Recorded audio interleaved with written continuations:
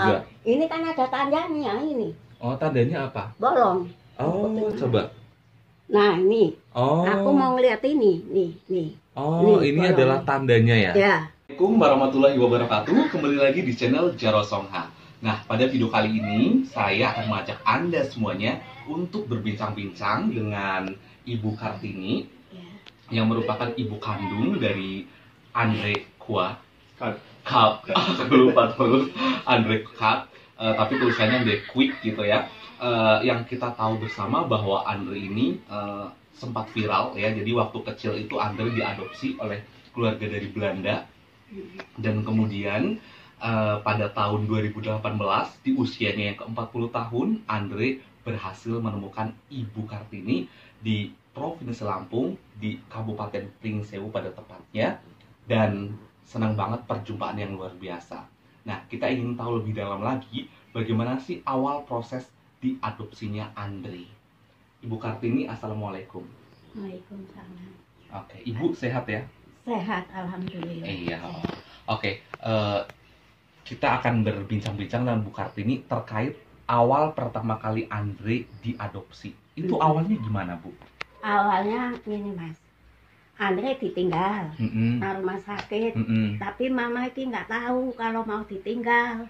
Aku Oke. sangka cuma satu minggu. Mm-mm. Aku tengok, tidak boleh ditengok. Ya aku Mm-mm. nangis lah.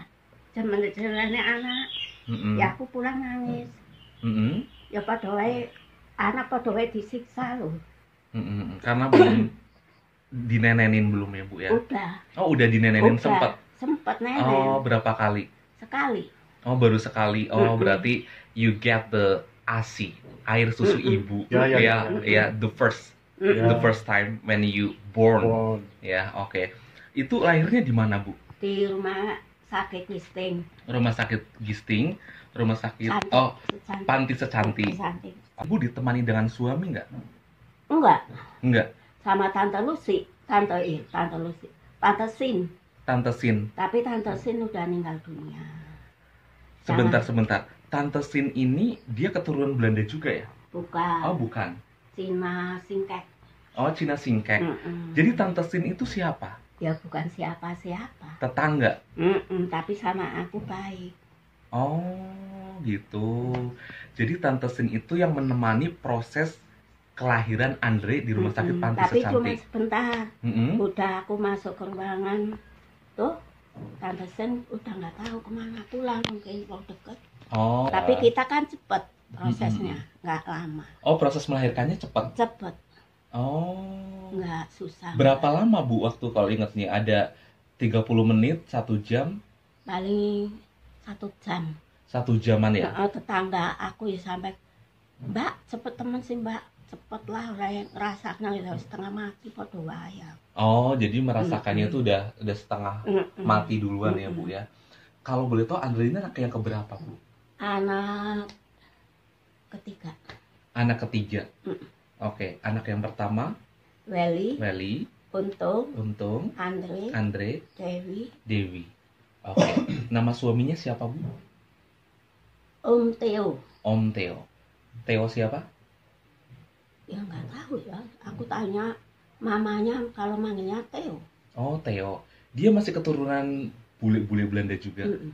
Oh, gitu. Nah, awal mula Ibu berjumpa dengan Pak Theo itu di mana? Tuh tuh masih tuh. Heeh. Kita ini diguna-guna. Hmm. Aku masih 16 tahun. Oh, jadi Ibu menikah dengan Pak Theo umur 16 tahun. Mm-mm, masih kecil. Oh, Pak Theo umur berapa? Ya udah dewasa lah. Oh, udah 30-an. Mm-mm. Oh, Hmm. gitu. Jadi your mother uh, uh, when married with your father Mhm. very very younger in 16 years old. Ah, Yeah. seksi ya. Yes, with uh, Bapak Theo. Ya. Yeah, maybe the people here uh, apa orang-orang di sini tahunya ibu nikah uh, dengan Pak Theo nikahnya di sini. Mhm. Akad nikahnya di sini. Tempat mama, Di mana? mama mertua. Oh, di mama mertua. Jadi akad nikahnya di sana. Oh, gitu. Nah, Bu, kita kembali lagi terkait uh, tadi uh, bagaimana setelah ibu melahirkan Andre. Waktu itu ditemani oleh Tante Sin, suami ibu tidak menemani, yang Iya. membantu proses melahirkan itu siapa, Bu? aku lupa mas Lupa. tante ibu dan siapa ya nanti Margareta Margareta. Mm-mm. Bidan Margareta itu orang asli Indonesia atau dari nggak tahu juga ya dari wajahnya? katanya sekarang udah jumbo udah lumpuh Oh, ada di sini. di Karang Oh, you know Margareta, Yeah. Suster Margareta. Mm-mm. You Yeah. know? Yeah, I know. You ever visit? I met her. Oh, they are uh, the people, native people here. Uh, Sister Margareta, she's uh, yes Oh, from Indonesia. from Indonesia, Mhm. not from Holland. no. Oh, jadi dibantu oleh Suster Margareta. Mm-mm. Dan Suster Margareta masih hidup sampai sekarang. nggak tahu juga ya Oh, Suster Margareta live here. Jakarta. Oh, in Oh, Jakarta. Jakarta. Oh, tapi ibu tahunya di Bandar Lampung. Mm-mm. Oh, jadi yang membantu proses melahirkannya adalah Suster Margareta. Mm. Nah, setelah eh, Andre lahir, kemudian ibu datang ke situ lagi tuh di hari itu atau satu minggu? Satu minggu tadi ya? satu minggu Satu minggu kemudian ibu datang ke dan situ. kakaknya ayo mah ngeliat dedek Mm-mm. ayo kita tuntun lah satu sini Weli sini untung Mm-mm. ternyata sampai rumah Suster Yusuf katanya jangan dilihat nanti kenal apa bu kok nggak boleh ngelihat kan anak aku Terus? aku tapi mesra tapi di nggak boleh Tapi ibu Ah. tahu Andre ada di situ. ya ada Terus? nah ada yang ngomong Meti Meti itu siapa? anak Om Dolok Oh, anak Om Dolof. Jadi Om Mm-mm. Dolof itu adalah salah satu eh, warga keturunan eh, orang Indonesia di sini, tapi dia masih ada keturunan Belandanya. Dia Mm-mm. sekarang tinggal di Gisti ya. Saya pernah berjumpa dengan Om Dolof juga di sana. Terus apa kata si Meti ini? anu mbak apa men anak mbak kan udah dibawa ke Belanda ah sen bener wae Mek. Terus? tapi aku nggak percaya juga Mhm. ternyata aku isi di situ kangen lah Mm-mm.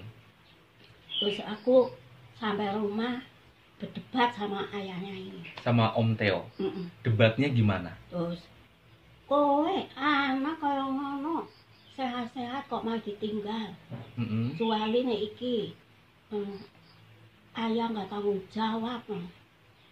Dia diam aja dijual nggak? Nampak duit? Enggak. Makan juga sih. Beli-beli. Dia bapaknya ini dulu bengkel. Oke. Mm-mm. Jadi nggak tahu Andre itu entah dikasihkan, entah dijual sama ayahnya nggak tahu ibu. nggak tahu. Sama sekali nggak tahu. Hmm. nggak tahu. Iya iya iya iya. iya. bahwa saudaraku bibi. Lama aku nggak anak oh, oh. Nah rumah sakit di lambu ya kepiye bi Terus? terus ya terus sudah aku nyariin ya ke mana lagi tante Lucy di Belanda Mm-mm. kan tempat aku Mm-mm. tempat orang sumber aku Mm-mm. ah mau dari Belanda apa aku mau nanya ini apa deket Mm-mm. Nggak si sing anak-anak anu mbak Mm-mm. mau tanya gitu be- begitu segitu sekali udah meninggal dunia Tante Lucy. Heeh. Oh, Tante Lucy dulu pernah tinggal di sini, enggak di Gisting. Margojo Oh, di Margorejo. rumahku kan dulu di Margojo Oh, Tante Lucy orang sana. Mm-mm, Belanda dapat orang Belanda Oh, suaminya orang Belanda, Mm-mm. tapi orang asli sini. Mm-mm. Oh, dan ibu tanya ke Tante Lucy itu Mm-mm. apakah dekat dengan Andre?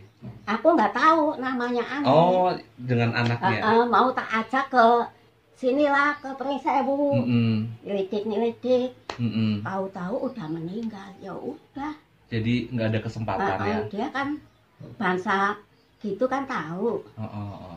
mau tanya-tanya lah ke rumah sakit Oh. kalau ada yang nonton kan Mm. kita nggak malu Tapi ibu inget tanggal lahir tahunnya Andre waktu itu? enggak Oh, nggak inget ya? enggak Oh, udah lupa gitu ya ya? dicatat tapi buat mainan anak Oh, terus lupa hilang gitu ya? Oh, gitu. Jadi ibu udah berusaha untuk mencari ke mana-mana gitu kan ya? Terus ayahnya hanya diam seribu bahasa, nggak ada jawaban. enggak Entah anaknya dikemanain kemanain, nggak ada cerita dari Om. Theo-nya. enggak Oke guys, jadi di sini sudah jelas sekali ya. Jadi Ibu Kartini itu kayak setelah melahirkan, eh, Ibu langsung pulang atau berapa hari di rumah sakit? berapa hari ya empat, hari pulang. Empat hari pulang kemudian setelah itu satu minggu ibu ke rumah sakit eh, lagi eh. untuk jenguk Andre. Heeh, tapi tidak boleh.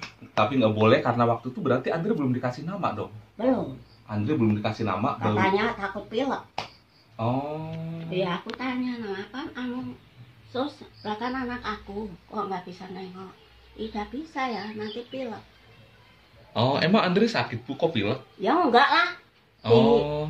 Memang pelik oh gitu Mm-mm. ya ya jadi akhirnya ibu Pulang. udah pulang Mm-mm. gitu ya ibu udah tanya ke apa tetangga-tetangga juga gitu kan ya katanya aku juga macam orang linglung Mm-mm. kayak orang kelangan anak kan gitu lah iya betul betul Mm-mm. betul tahu sendiri ya bu ya Mm-mm. berarti waktu melahirkan Andre ibu sekitar umur berapa umur berapa ya tiga puluhan 30-an tahun ya ibu melahirkan Andre ya oke dan ibu kayak linglung gitu kan ya. Terus setelah itu eh, ibu juga udah mencoba mencari ke mana-mana tapi nggak ada eh, jawaban gitu ya. Ya aku lah kalau ngeliwat rumah sakit secantik kita nengok lah ke sana. Aduh mau tanya sama siapa coba? Suster Margareta nggak ada memberikan jawaban? Enggak. Aku enggak pernah ketemu. Oh jadi setelah Mm-mm. dibantu proses melahirkan tersebut nggak pernah dibantu lagi dengan Suster Margareta nggak pernah ketemu lagi dengan Enggak. Suster Margareta udah gitu ya? Oh aku gitu. lama-lama malu macam orang gila di sana. Mm-mm. kayak orang bingung. Mm-mm. ingat bingung nyariin ini. Mm-mm. mau masuk ke kamar. Bayi nggak boleh. Hmm, karena ada bayi-bayi yang lain Ah, juga. Ini kan ada tandanya ini. Oh tandanya apa? Bolong. Oh Betul. coba nah ini. Oh. Aku mau ngeliat ini. Nih nih. Oh Nih, ini bolong. adalah tandanya ya? Ya. Wow. Oh ada tandanya. Maka kita side in your body Mm-hmm. ya. Kalau Oh. ah, ah, ini. Nih. Jadi ini tanda ini ibu Nah, ingat tanda ini? ingat, iya. Ini tandanya. Jadi waktu ibu ketemu dengan Andre juga ingat tanda itu nyari tanda iya itu? tak lihat. Oh nggak salah. Oh. Ini macam ayahnya. Badannya badannya mukanya jalan-jalannya persis ayah mirip ayahnya? Mm-mm. oh besar bongsor. Mm-mm. katanya ayahnya keturunan-keturunan Belanda juga ya bu ya? Oh, makanya Andre juga secara tidak langsung ada darah-darah Belandanya ya? Karena dia kan bapaknya turunan Belanda ya? Mamanya Jawa. Mm-mm, Jawa Maos. Mm-mm. bapaknya Bapaknya? Belanda tinggal di Palembang. Oh iya iya iya iya iya, oke nah katanya Om Theo ini punya saudara juga ya bu ya? Udah meninggal dunia. Oh udah meninggal dunia. Namanya siapa? Peran Franz Om Franz ini ya. Nggak pernah ketemu lagi sampai sekarang? Enggak. Sana nggak mau ke sini. Aku juga ke sana nggak mau. Pernah ke sana tapi ibu udah. Dicari ketemu? Iya iya iya. Orang sana paham sama aku. Oh kenal karena ibu pernah Ah, ah, tinggal di sana ah, juga? ah, ah. dulu ikut mama. Hmm, oke. Oke, Andre, can you explain with me about your process adoption about you? Well, actually, I don't know much about it because I Mhm. was a, li- a little baby. Mm-mm. But what I've know, what I know is I was six months old, and then they put me on the airplane. Okay. So I uh, flight alone to London, and then uh, my parents in Holland t- take care about me. Oh, okay. So you, uh, your parent uh, adopt not come Indonesia. They do, but I fly alone to London. Alone Yes. or ah, in six month you goes to Belanda. Yeah. Who bring you? I don't know who, but maybe a person was uh, uh, support me by traveling. And- Okay. But uh, I don't know who she or he is. Okay. Um, yeah, actually, I don't know the process. Okay. So you from the Lampung and then you goes to Jakarta. Jakarta. Maybe uh, someone bring you goes to Jakarta Yeah. and then you in Jakarta until six month. Yeah. Okay. Uh, six month you uh, someone put you uh, Gusto Holland. Yes. Oh my god. Hmm. Jadi masih bayi, kamu dibawa ke Belanda. Yeah. Seorang Hmm. diri. So I, what I think, uh, someone, someone uh, of the Rumah Sakit Mm-mm. Had connection with someone in Jakarta. Okay. The in Jakarta there was uh, in. Peop some people asked for a child, you know. So they, uh, my mom and dad uh, made contact with the person here in Indonesia. They asked, "We want to adopt a child." Okay, people said here it's possible. Um, so my mom, or no, my dad in Belanda went here to Indonesia, to the Rumah Sakit. Uh, Rumah sakit in Pansitanti uh, in Gisting. Gisting, yeah. Uh, your parent adopt come here. My father, yes. Oh, your father. Yes. When? Should be in 1978, Wow. yes. 1970? And yeah, 78. Oh, 78.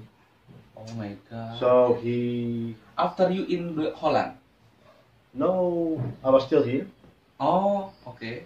or in Jakarta, I don't know. Okay. Uh, and the, the people here sent my parents in Blanda pictures of me.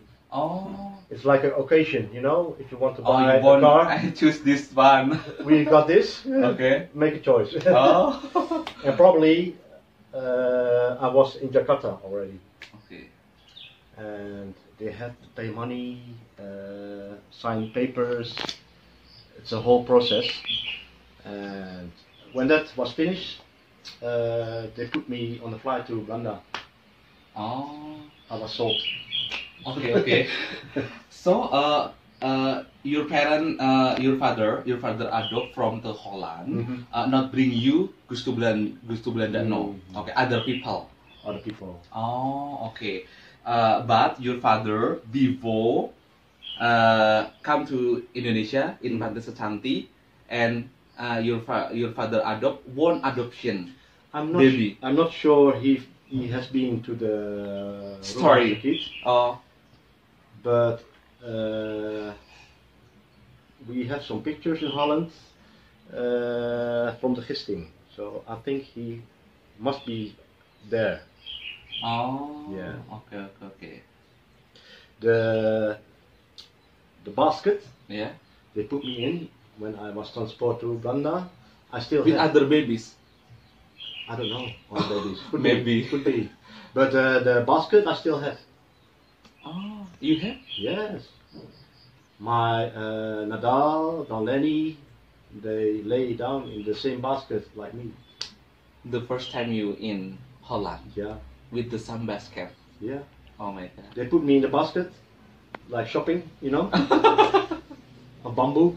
Yes. And uh, Oh, from bamboo. yes, Oh. Traditional basket. yeah. I will hold it. It's for uh, it's uh, history, you know. Yes, I know. Mm. Oke oke oke. Oke guys, jadi sebenarnya kisahnya itu luar biasa banget ya. Si Andre bisa sampai diadopsi sama uh, keluarganya yang ada di Belanda ya. Ternyata Andre ini ibunya ini benar-benar mencari gitu kan ya. Tapi uh, gimana caranya nggak ketemu lah. Tiba-tiba si Andre udah di Jakarta. Di Jakarta. Oke deh guys, nah itu dia kisah mengenai Andre. Jadi selepas dari Jakarta, Andre kemudian dibawa ke Belanda gitu ya. Jadi memang uh, proses adopsi Andre ini penuh dengan teka-teki karena ibunya juga bingung gitu kan ya karena ayahnya juga tidak memberikan informasi yang jelas gitu apakah anaknya diberikan begitu saja atau memang diadopsi atau bagaimana prosesnya itu juga tidak jelas. Jadi ibunya juga merasa kehilangan seperti orang yang bingung dan linglung. Terima kasih sudah menonton video kali ini buat kalian semuanya yang masih penasaran, nantikan video-video lainnya wawancara saya saya dengan Andre dan juga dengan ibunya, ibu kandungnya yang ada di Lampung. Dan buat kalian semuanya, jangan lupa subscribe, like, dan komen channel Jarwo Songha. Assalamualaikum warahmatullahi wabarakatuh.